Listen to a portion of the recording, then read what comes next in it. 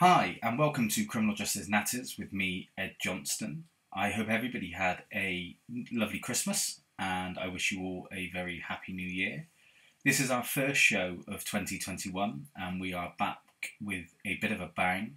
We are joined by Laura Nirider, who's a clinical professor of law and the co director of the Centre on Wrongful Convictions based at Northwestern University.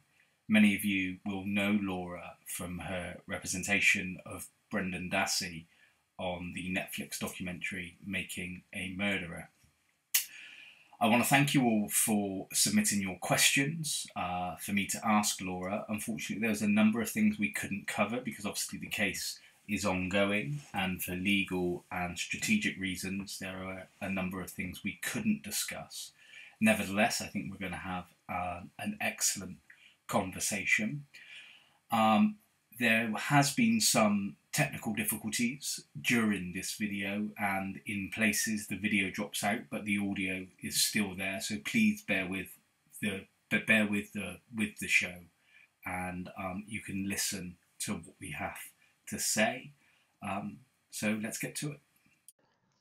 Hi laura. Thanks for joining us today on criminal justice natters. How are you I'm doing great, Ed. Thanks so much for having me. How are you?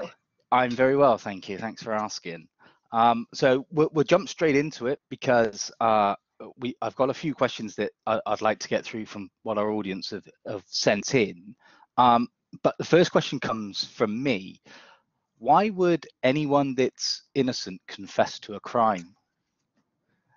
This is the big question, right? This is what we've we've been asked so many times um, after making a murder, after people saw what happened to Brendan Dassey, how he confessed to a crime that he very plainly did not commit, right? Why would anyone confess to a crime they didn't commit, let alone something as serious as rape or murder, right? Well, it turns out the answer has everything to do with the psychological interrogation techniques that are used inside the interrogation room. And they're used not just in Manitowoc, Wisconsin, but that are used in interrogation rooms across the United States, right? These are psychological techniques that work to turn the world upside down for the person who's being interrogated, right? For the suspect who's there in the box. These are techniques that are very specifically designed to turn the world on its head, to make you think over a period of time that confessing will actually help you um, and that not confessing will hurt you, even if you're innocent, right? I mean, it'll be things like, we know you did this crime, we have all this evidence against you, you're never going to convince anyone that you're innocent, you're only making it worse for yourself if you if you continue to deny your involvement. Um, this goes on, that sort of accusational phase goes on for, for quite some time. Interestingly, in the United States, police are allowed to lie during interrogations about the evidence against a suspect, unlike, of course, in the United Kingdom, where that's been mm-hmm. outlawed, excuse me, outlawed since the 1980s. So, you know, we have police officers coming in and saying, "We found your DNA at the scene. We found your fingerprints on the gun. You know, I've got three witnesses in the room next door who picked you out of a lineup."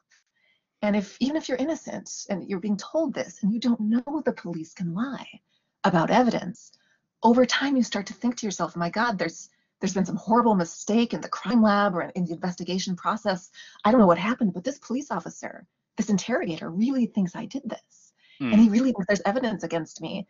And no one is going to believe that I'm that I'm innocent. Right? What am I going to do? That's when police officers are trained at that moment of sort of hopelessness. Right? I'm I'm trapped. They say there's all this evidence, no one's going to believe in me. They're trained to offer confession as an out right? Okay, if you keep denying this in the face of all this evidence against you, um, no one will want to help you. You're going to go down for life, right? You'll never see your family again. Your life is ruined, right?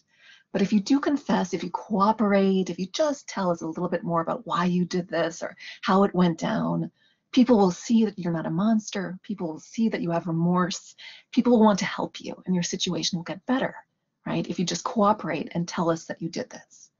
Um, that's the choice that people have in the interrogation room. They're reduced down to hopelessness. And then confession is offered as a way out of this hopeless situation. It's incredibly powerful set of yeah. techniques. They are really good at getting true confessions, um, but also get false confessions. Yeah. I, I was really surprised. Um, obviously, for someone like Brendan, and I think for a huge number of people. A police interrogation is going to be an alien and hostile environment that they're not used to. And what really struck me when watching Making a Murderer that Brendan had no appropriate adult or defense lawyer with him. Um, and and in England and Wales, that just that that wouldn't be the case. Um, is that commonplace in the United States in terms of no representation in this interview? It is very commonplace. That's exactly right. Of course, in so many places overseas, including England and Wales, there's an appropriate adult when police question a, a, a youth, hmm. a, a, juvenile, a teenager like Brendan. He would have had somebody in that room to look out for his rights. Um, you guys are 35 years ahead of us on that. uh, tragically, it's only in about 13 states in the United States are police required even to try to notify a child's parents before questioning that child. So that means in the vast majority of states, police officers can and do um, question kids all the time without notifying their parents, let alone without getting their parent or lawyer in the room. Um, it's one of the, the biggest areas of needed reform here in the United States. Yeah, um, I, I was really shocked by it because you you just think of of a young man of, of Brendan's age and, and intellect as well. I mean, just what he must have been feeling during there, and then being, you know, effectively force fed a scenario that didn't happen. Um, For, that's right. I mean, he just, you know, when you think about somebody like Brendan, right? He was 16 years old at the time, of course. He was a special education student with mm-hmm. pretty profound intellectual disabilities, particularly when it came to the way he understood speech and could sort of cope with with situations involving the spoken word, right? Um, you know, this is a kid who in his in his high school classrooms, he had to have an adult sit with him in class to mm. help him understand what his teacher was saying. That was his special education accommodation. Yeah. You know, you take that kid yeah. and you put him in, a, in an interrogation room with two you know, authority figures, right? Police officers, seasoned cops who have questioned many a more, uh, you know, serious criminal than Brendan Dassey. Um, he didn't stand a chance in that interrogation room. I'm, I'm only sort of surprised that he held out for as long as he did. Yeah, because uh, uh, it wasn't a short interrogation either, and I, I didn't realize in terms of sort of Brendan's uh, educational adjustments that he would have a member of staff to help facilitate his learning in the room. And you think, well, just listening to that, I was shocked. I was thinking, well, if that's what you have at school to help you learn, why why is that not replicated in this interrogation that you know obviously could put put you in prison for you, know of an extremely long time. Um, I find that shocking. It's devastating. yeah, it makes no sense at all. It makes no sense that that is the accommodation that his IEP recommended. And yeah. instead, he was in there fending for himself over the course of four different interrogations that unfolded over a period of 48 hours. That's right. Yeah. So, in terms of the police not having to notify parents in, in the United States, it, is that to kind of you know their idea that well we can find the truth by simply speaking to this person um is there a is there a view that having an appropriate adult or defense lawyer in that room would be some sort of hurdle to to the, what they're trying to achieve from that process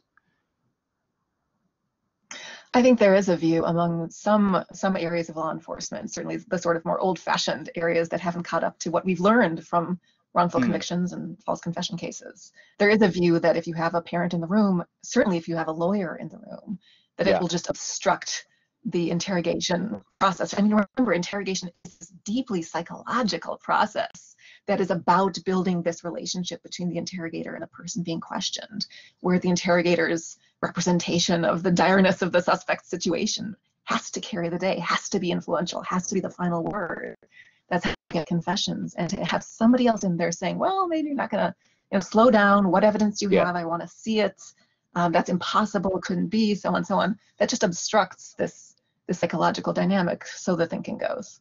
Yeah um, and i can understand why but i mean um, I, I, watch a number of sort of true crime documentaries based on cases in the US, and it always shocks me that um, people are interviewed without the presence of a lawyer even you know fully grown adults still go in unrepresented is, is that also the norm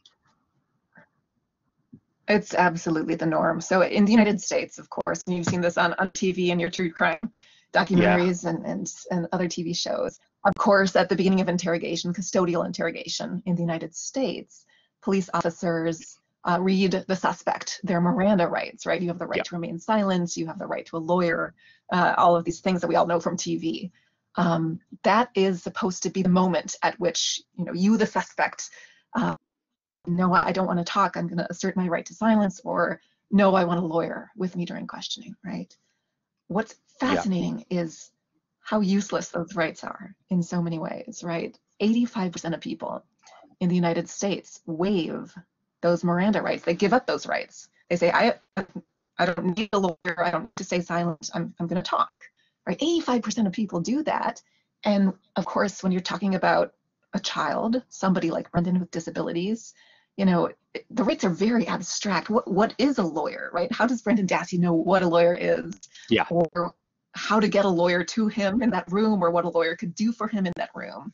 You know, it's very abstract.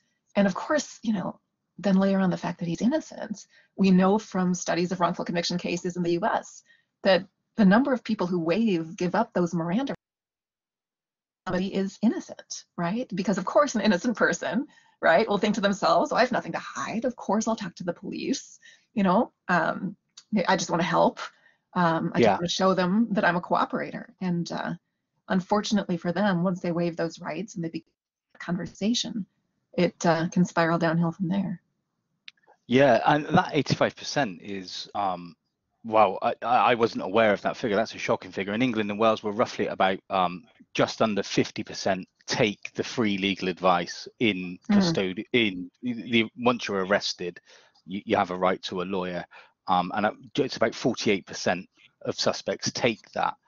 Um, and we have a process where some police station, uh, some police constabularies, actually actively encourage people to have defense representation because effectively it makes it harder to ref- refute any admissions made in there if it's made in the presence of a lawyer. Um, so to have um, sort of 85% with, without a defense lawyer, I, I find that, that very surprising. Well, I think the difference may have to do though with with the difference between our two countries and the way we understand the right to silence in these yeah. two countries, right? Because here in the United States, if a lawyer comes into the room and says, I invoke my client's right to silence, um, the interrogation must end, right? Um, yeah. And no, no more question, no more questioning can occur um, if the lawyer comes in and says that. And I understand that's not always the case in the United Kingdom. It works quite differently there. Yeah, so it, it, does. You know, one reason why it doesn't happen so much here. Yeah. yeah. In in terms of the uh, in in terms of being filmed, like carrying out your work on, on Brendan's case, um, how did you cope with sort of just constant cameras uh, uh, around you almost all the time? I developed a very good sort of blinker blinker approach to my job. You know, it's uh, it's really something. You know, when when making a murderer first came out, right? Season one came out in, in late 2015, I think it was. Mm-hmm. Um, we'd been aware, of course, that they had been making this film. Um, they showed up one day in court, which is when we first learned about it. Why we didn't know that anybody wanted to make a film about this when we first started representing Brendan Dassey. It was only when we were in court with him oh, wow. and the filmmakers okay. showed up with their cameras that we realized, huh, you know, somebody's interested in making this into a film or into a docu series. Um, but we never really thought it would go anywhere to be honest right? A lot of these true crime documentaries tv shows docu-series that that aren't popular. And we thought well you know let's not get our hopes up you know. Who's, who's going to care about this stuff that happens in manitowoc wisconsin right? Um, and so when making a murderer first came out in, in 2015 first season um, and told brendan's story to global audience right right millions millions of accounts watched this thing in the first two weeks alone mm-hmm. um, it was absolutely amazing to me to see how Brendan's story lit the world on fire and energized yeah. people, not only to learn more about the case, but to learn more about the justice system. How could this happen? What can I do to prevent it from happening again to others?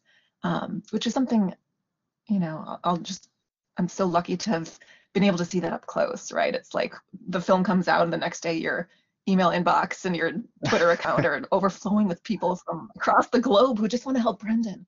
And it's such a beautiful thing, um, incredibly beautiful thing to have been a part of. And I, I think as well the, the, the idea that, that, people were so energized by this. I mean, I had family and friends talk to me about watching this show who have never been interested in any work in criminal justice that I've ever tried to tell them previously, and now they're all over it. And um, yeah, I just I, I just think that that's amazing. Well, that's the incredible thing, right? I mean, it's one thing for criminal defense lawyers or people who are interested in the criminal justice system already to care about this, but that was the big making a murderer moment for those of us who have dedicated our lives to, to improving the system was you know everyday folks ordinary folks across the globe who just sat sat down on their couch and turned on yep. a show that seemed interesting on netflix suddenly became engaged and suddenly started caring you know one of the most amazing things uh, to have come out of making a murderer actually is after brendan's story got told across the globe and so many people were, were touched by it right you don't have to be a lawyer at all to understand that what happened to brendan dassey is wrong um, people started writing Brendan letters mm-hmm. from every corner of the planet, right? New Zealand, Australia, South America, across the United Kingdom, Ireland, Europe, certainly across the United States, and even from within Wisconsin as well. Um, you know, to this day, he still gets about five letters each day from people wow. across the globe who just want to, you know, write him a short note, hang in there, Brendan, you know, keep your chin up, hold your head high. We believe in you the truth yeah. will come out. Keep on fighting, right? He saves these letters and um, he writes back to as many people as he can. These are incredible missives of hope from around the globe. They sustain Brendan. They give him hope to have yeah. so many people believing in him. And, you know, when I see that he has hope, that's what gives me hope too. Yeah. And I, that must just be such an amazing feeling for him to to see this belief that sort of transcends the globe almost um, it just must be amazing to, like you say to get to have that hope to keep going. Um, I, I, think that i think that's tremendous. Absolutely. And you know if you think about it brendan had been locked up for about eight years by the time making a murderer came out right? Yeah. um, this was a kid who never had very many friends in the first place because of his disabilities right? The other kids would make fun of him. Mm-hmm. Um, then he was convicted of this and locked away in a cell in the middle of rural Wisconsin and completely forgotten. He was a forgotten person, right? And then um, Making a Murderer comes out, the show comes out seasons one and two, and all of a sudden, people across the planet are saying Brendan Dassey's name and writing him these letters and believing in him and wanting to be his friend and understand where he's coming from and do something, anything to help him or others like him. And um, that's been an absolutely stunningly beautiful result of yeah. the Netflix show, right? Suddenly Brendan has friends across the globe. Yeah, uh, that that's amazing. How, how is Brendan doing, uh, sort of right now, or the last time you spoke to him? Yeah, he's he's hanging in there, right? Brendan, of course, was 16 when this happened to him. Um, yeah. He's in his 30s now, yeah. right? So he's grown up behind yeah. bars. He's he's grown up and missed so many experiences, right? From high school graduation to, to that we all go through our process of becoming adults. Um, he's missed out on that. But despite having missed out on so much of his life, spending nearly half of bars, Brendan has grown up into a good man. I mean, he's gentle, he's kind, he is funny. His institution, him, right? He has jobs now behind bars. Um, and his jobs involve taking care of more vulnerable inmates. At his old institution, his job was to push the elderly inmates around in their wheelchairs um, yeah. to take care of them. So he's, he's doing good uh, despite his environment of inhumanity. He's doing good in his own way, and I'm very proud of him. Okay, yeah, that sounds great about Brendan sort of helping people in in the prison um, whilst he's in there? Does he work in there, or is he taking schooling, or how does he fill his days? Brendan has got Yeah, Brendan has gotten his GED, which is his high school equivalency diploma, right? Um, very proud of him. He's able to wear a cap and gown behind bars, yeah. nonetheless, when he got it. That was a wonderful thing to see. Um, and yes, there there are jobs available to to um, those in his prison, and a lot of the jobs Brendan has had again involve you know caretaking the more vulnerable inmates, the elderly yeah. prisoners, um, people who need somebody to to just take care of them um, tragically as they're locked up in their in their later years of life. Um, Brendan's yeah. somebody that the institution has trusted to do that, and he's quite proud that he's been able to help others that way.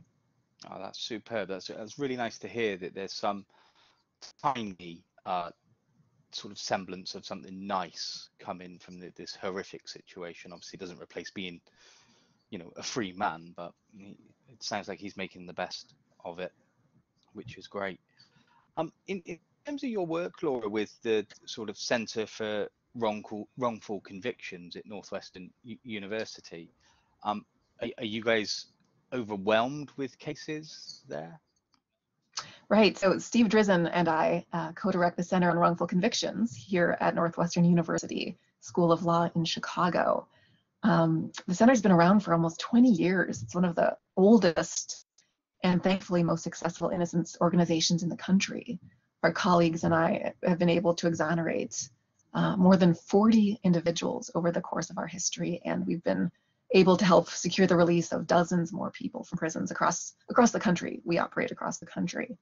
Um, but there are only five of us. There are only five lawyers at the Center on Wrongful Convictions. So um, we're only able to help a few people at a time. We yeah. get about 3,500 letters every year wow. from inmates across the, the country who say that they're innocent and are asking for our help with their cases.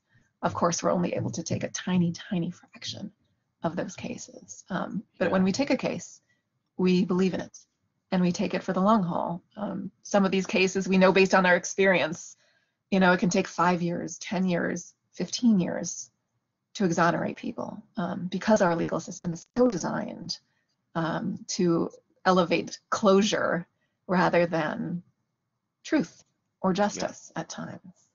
Um, so the fight can be very long, and of course, we're all seeing that with Brendan's case. Yes. Um, the fight can be very long, but at our center, once we take a case, we take a case. Yeah, that's that's good. How do you, if you, I mean, 3,500 letters, uh, sort of applications a year, that's a massive amount of cases. How, how do you choose which case to, to, to follow up with? That's a really, really good question, right? And thank God we have a, an army of volunteers who help us process those letters, who help uh, learn more information about um, the, the, cases that are sent to us that meet our criteria for acceptance.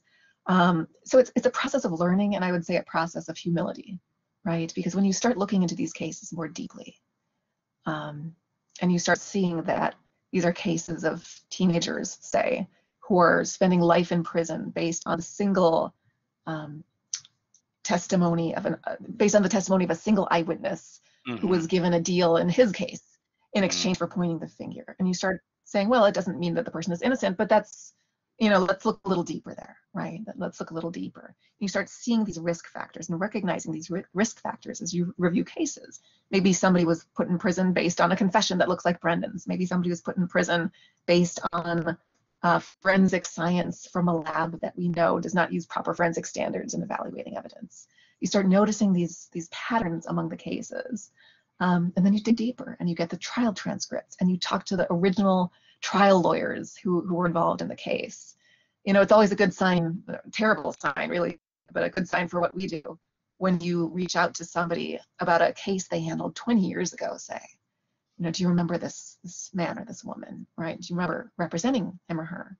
And the lawyer will say, yes, um, that's the case I've never been able to forget over the course of my career because I yeah. knew they were innocent right? Yeah. I mean, those are the cases. When you hear something like that, you stand up and take notice. And you just keep investigating with an open mind and digging and digging. And at a certain point, um, you know, you reach a point where it's just staring you in the face. This is a yeah. wrongful conviction. Yeah. Um, do you allow students to work on the cases uh, alongside the five lawyers that are there as well? We do. That's one of the joys of operating at a law school, right? Yeah. Um, our students are range in age anywhere from you know mid 20s to around 30 right? They've all been through undergraduate already. They all have their undergraduate degrees and they are with us for three years at the law school um, to become lawyers right? To yeah. get their, their law degrees. Um, and after their first year of law school they're able to work with a group of practicing lawyers who practice out of the law school right? We're called clinical professors of law because um, we actually handle real cases and we use them to teach the students. Um, not, you know, that law is, is more than those important foundational cases you read in a textbook. It's more than the book of statutes. It's more than the book of rules. It's mm-hmm. real people and and it's systems that regulate our. And I, I suppose it, I suppose as well from um, from a student's perspective, this sort of real life experience um, just be invaluable to you know a life in in criminal defense or you know rectifying miscarriages of justice. I mean it, it just sounds superb from a from a from a student perspective um, i think it's really well done. Well well let me tell you a quick story on that front. Um, because that was my experience, right? 15 years ago, 16 years ago, maybe maybe a little longer than that. I was a law student myself here at Northwestern, here at Northwestern University. I was in law school. I'd gone through most of law school. Um, I was in my last year, and I thought I had my life figured out. I was going to be a, a, a commercial litigator, right? Somebody okay. who who writes contracts and sues people when the contracts fall apart, and all of these things. And on a complete whim, I signed up for Steve Drizin's class on wrongful convictions. He was a professor at the law school. Um, you know, I knew nothing about the criminal justice system. I knew nothing about wrongful convictions. I certainly knew nothing about false confessions. But I signed up for this class, figuring, you know, let's try something off the beaten path before I graduate. Um, and I remember it really well. It was a few weeks into the fall semester of my last year of law school. Steve, my professor then, called me into his office this is about four months after Brendan Dassey had been convicted at trial. Mm-hmm. And he said, I've just been asked to represent on appeal this 16 year old kid from Wisconsin who confessed to a murder that I don't think he committed.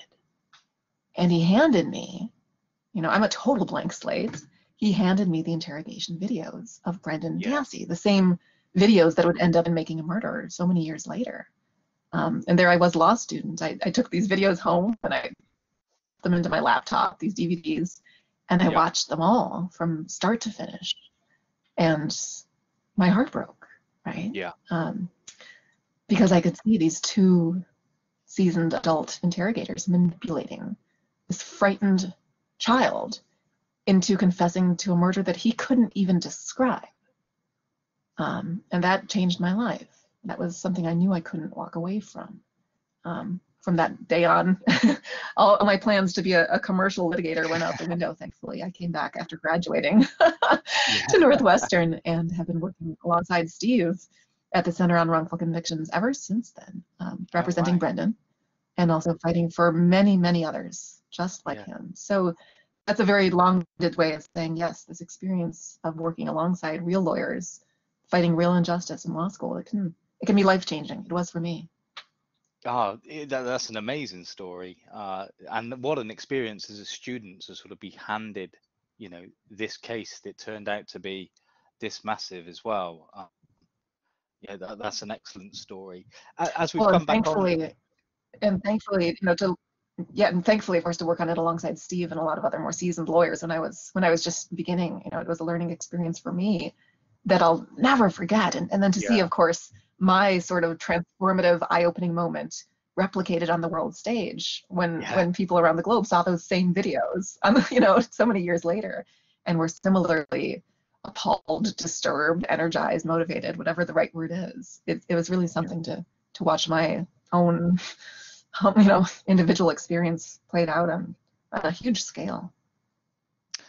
Another thing that shocked me from um, season one of making a murderer if you think about sort of you know the, the thoughts of what a defense lawyer should do you know they're, they're zealous advocate for for their client they're going to advance the client's best interests and then you see um, Brendan's original lawyer, Len Kachinsky, and how he just well flew in the face of those sort of central tenets of what a defense lawyer should do. Um, I mean, I don't know if you could, if you want to, to, to talk about that, but I mean, just the lack of sort of zealous representation, um, not only in court, but then with that, with the, you know, setting up the, the, the polygraph test as, as well. I mean, it's absolutely horrifying, right? What um, what happened during the course of Brendan's first representation was something I'd never seen before, something none of us on the team had ever seen before, right? It wasn't just lack of zealous representation. It was that Brendan's first attorney, as we argued in court, was was just disloyal to him, was actually acting in a way with the hope of, of proving Brendan's guilt. And of course, when you've got an innocent client, that means you've got to coerce your clients into into admitting guilt, which is exactly what we all saw on that video, right? When yeah. when the defense investigator on the case came to visit Brendan in jail and gave him the polygraph, and mm-hmm. lied to him about the results, lied to him, told him he failed it, um, and told him that he had to make a statement, uh, again admitting guilt, or else Brendan's defense team wouldn't help him, that they would walk yeah. away from him. You know, it's it's shocking. It is sort of unprocessably shocking that happened it is deeply unprocessably shocking that it all happened and they taped it, right? That we have a videotape of this. It's the kind of story that if I told you this is what they did, you'd never believe me if it wasn't videotaped, yeah. right? Um, yeah. You know, you know, when we first saw that tape, our our mouths, our jaws hit the floor. Um, poor Brendan. Imagine you're him. Imagine you're 16. Imagine you've just gone through this this brutal set of interrogations. You've just admitted to the most locally high profile murder. Um, you've been demonized in the press. You've been demonized on a TV press conference by the prosecutors. You've been thrown in a prison cell, taken away from your family, taken away from your school, taken away from everything you know. And this is the guy that they send in to help you, right? Mm-hmm. Yeah. Um, it's it's it's disturbing. It's disturbing and should never be allowed to happen if you and I, I, I have I've asked a number of guests this particular question, and there isn't one easy answer. Uh, but if you could change one element to sort of improve almost almost overnight the criminal justice process, what what would be the one thing that you you would focus on that, that need would need immediate reform? I think it's almost almost an unanswerable question because yeah. immediately my head is flooded with like 70 things that need to be changed you know, 10 years ago, right? Yeah. Um, but but I do have hope for reform on on so many levels. Um, I think that we need to make the clemency process more effective, more of a safeguard against miscarriages of justice that happen in our system. And I think there are real conversations right now about making the clemency power more robust at the federal level, giving some actual um, power, some actual bite to this uh, to this tool, this very underused tool that we have in our system.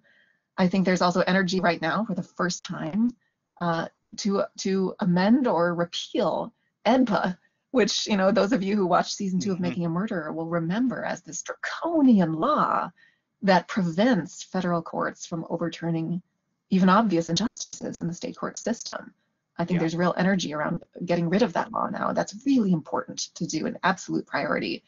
Um, and then there's other things, right? Right now, um, only 27 states in the United States require interrogations to be electronically recorded. Why? So 23 states right now, you know, Brendan could be taken behind closed doors inside the interrogation room, kept there for hours, and he comes out and you have no record of what they said or did to get him to confess, right? That's yeah. still the case in 23 states. That's an easy reform. It's about transparency. It benefits everybody, right? And and yeah. that's an important reform. Um, but something that I'm actually the last one I'll mention that I'm really excited about is for the first time in the United States, a bill has been introduced in New York State to outlaw lying about the evidence in interrogations right? There was just an op-ed in the New York Times a few days ago by the exonerated five, right, formerly known as the Central Park Five, the, the five defendants in the infamous Central Yeah. Park jogger case, who falsely confessed to this um, attempted murder back in the 1980s. Uh, they, of course, were exonerated by DNA and have come out in, in, in vociferous support of this effort to outlaw lying about the evidence during interrogations. I can't tell you what an important reform that Yes. will be. Um, to just, you know, to, to build a foundation of honesty and integrity in the interrogation room and in the policing world. Uh, that's what we need. That's what we need to do.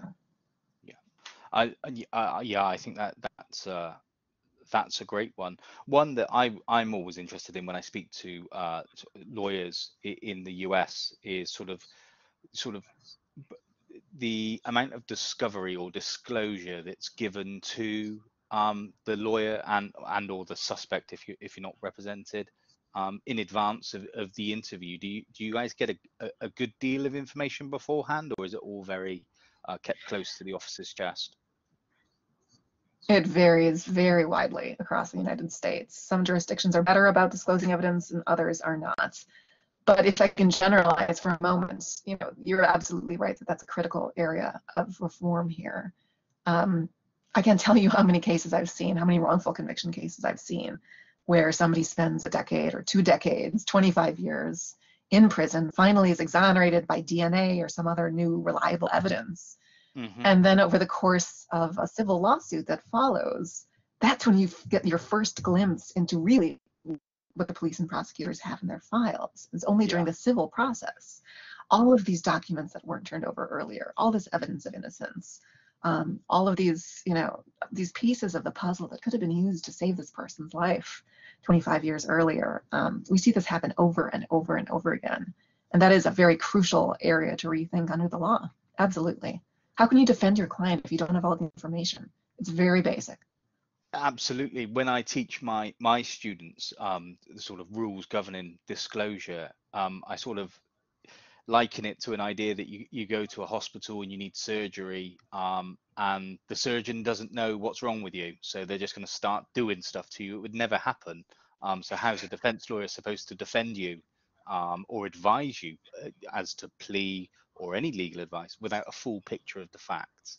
Um, I think it's something that we need That's absolutely right. here. It's a- yes, yes, I agree. You know, honesty is the best policy, right? Truthfulness, disclosure, openness. Absolutely. You know, it's it's crucial. Absolutely. Uh, I've just got a couple of questions, and then then I will will let you go. Um, so the last two questions: is, is there a rough time frame in terms of what's going to happen next with Brendan, without going into detail? Sure, sure. Well, of course, you know, we're still representing Brendan um, as we have done for so many years. And we are as committed as ever to um, watching Brendan walk out of those prison doors one day and, and as committed as ever to making sure that day comes as soon as humanly possible. Um, so, yes, Brendan still has options to pursue, right? He still has the ability to file a post conviction petition. Um, someone in his position can do that still, right? Bring new evidence before the court. Um, and someone in Brendan's position also can return to governor of Wisconsin and seek clemency a second time. Of course, Okay. we filed a clemency petition with the governor of Wisconsin on Brendan's behalf about a year and a half ago, about a year ago now, in October of 2019. Um, and we had high hopes. We were joined in our efforts by people across the globe, hundreds of thousands who signed a petition to Yeah. free Brendan, along with, with thousands from within Wisconsin itself. We were joined by 250 experts, right? Everybody from former prosecutors to senators to psychologists Wow. to formerly incarcerated people, right? People who themselves falsely confessed. Um, we were even joined by Kim Kardashian, Yeah. who, who, who saw our effort to free Brendan and very graciously um, tweeted about it and posted on her Instagram and elevated the issue for which we were very grateful. Um, Yeah, that's amazing. it was an incredible effort, and unfortunately, the governor denied that clemency petition very unceremoniously without even reviewing our petition on the merits Wow. just a few days before Christmas 2019. Um, we are barred from reapplying until this summer. Um, Okay. But but uh, rest assured, we continue to work very hard, um, both publicly and and very much behind the scenes as well. Okay, well, that, that sounds good, and I, I, I keep everything crossed, and I'm sure everybody does. That, that justice is eventually done in in this case. Uh, my, my my final question is just about the sort of explosion of these sort of true crime documentaries. Do you think do you think that there's been a benefit in maybe opening the wider public's eyes into how criminal justice is carried out? I do, I do, and it's something I think about a lot. Right, having had a, a very unexpected front row seat to the phenomenon yes. of the explosion of true crime documentaries. Um, I've seen this before. You know, I before um, before there was Netflix, right? Um, yeah. Steve Drizin and I worked. We were part of a larger team of lawyers who worked on the West Memphis Three case down in Arkansas, which is another sort of globally famous case. There had been a series of documentaries made about it uh, through HBO, and yeah. Peter Jackson, uh, the filmmaker from New Zealand, also made a film okay. about it. Uh, so years and years ago, we saw the power of documentary film of storytelling um, in, in in in this in this space. I mean, if you think about it, right? when you when you push back against this dominant narrative, right? A dominant narrative has been told about who Brendan Dassey is or who the West Memphis Three are. Um, it's been told by prosecutors and police. It's been told by the by the court system. It's been told in newspapers and press releases and press conferences and evening news reports. And it's a very scary narrative about this person being evil. We have to have some way to push back against that narrative in order yeah. to allow judges um, just the, the, the sort of mental space to reconsider these cases fairly and carefully and without having to contend against this this wrong but dominant public narrative and that's the value i see in these true crime documentaries right whether it's mm. making a murderer or the staircase or or the, the shows that are made about the west memphis three or the serial podcast um, yeah. or even the podcast that steve and i now host on false confessions right if you if you if you allow people to, to reconsider, give them the space to think, you know what, maybe that thing I was was told, maybe people got it wrong. Um, that's of enormous value. Um, it's just an incredible thing to see for our clients, for people who've been wrongfully convicted, and for the hope of reform in the future. Because as you well know, there are legions of folks around the globe now who are advocating in their own ways for reform here in the United States, but also at home in their own countries. People who have educated themselves after watching these shows, who have written their lawmakers, who talk to their neighbors about what needs to change, who have become active citizens in the pursuit of justice. And I think that's a remarkable, remarkable phenomenon that I, am very proud to have been a, a small part of. Absolutely. It is fantastic. And on that note, is there anything that the wider public can do to help Brendan's case, or is it a case of just keep going on with the petitions in doing what they're doing already? I'm so glad you asked.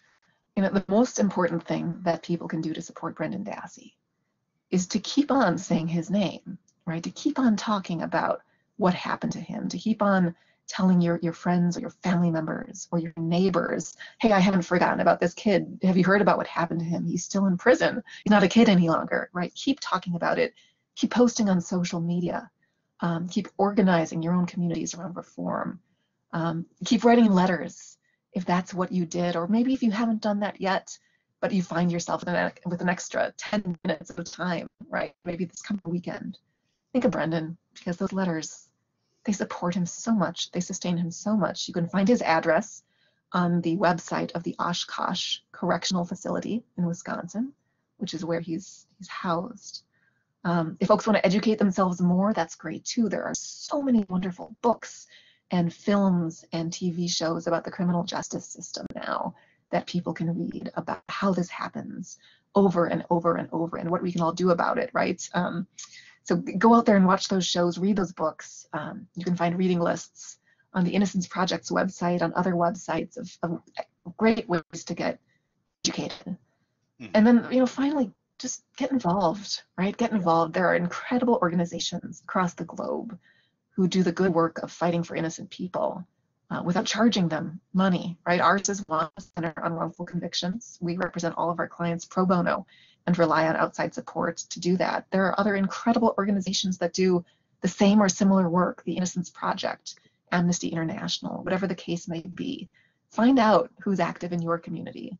Um, get supporting them, get involved, and uh, You know, it's this is a huge fight. It's a huge fight that is so much larger than just those of us who are lucky enough to be the lawyers who who get to stand up in court. It is a much larger fight than us.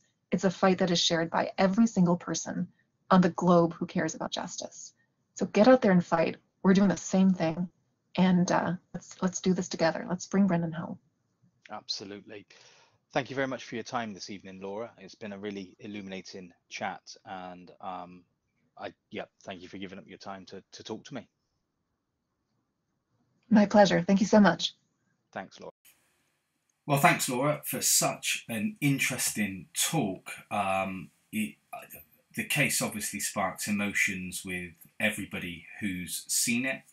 Um, I want to thank you for giving up your time to speak to me this evening, and um, that, that's greatly appreciated. And I wish you the best of luck, and I will be following the outcome of Brendan's uh, case. Uh, with with a close eye and fingers crossed that everything goes well. Again, viewers, apologies for the technical difficulties we had, but hopefully it doesn't detract from the quality of the conversation that we that Laura and I had. Um, and I hope you enjoyed it. And will join me again uh, next week.